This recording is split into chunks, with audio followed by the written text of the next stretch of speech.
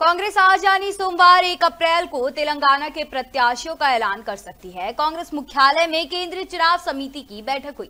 आपको बता दें, इस बैठक में कांग्रेस अध्यक्ष मल्लिकार्जुन खड़गे, सोनिया गांधी के सी वेणुगोपाल, तेलंगाना के मुख्यमंत्री रेवंत रेड्डी समेत कई कांग्रेस नेता शामिल रहे।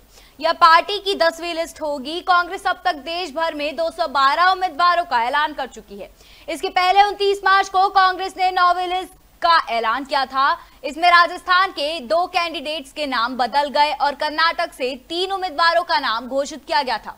कांग्रेस की आठवीं लिस्ट में चार प्रत्याशियों के चौदह, चार राज्यों के चौदह प्रत्याशियों के नामों का ऐलान किया गया था।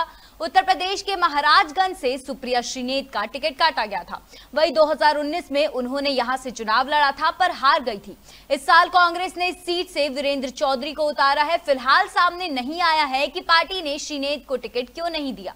हालाँकि इसे कंगना रेनॉट पर विवादित पोस्ट करने की कंट्रोवर्सी से जोड़कर देखा जा रहा है।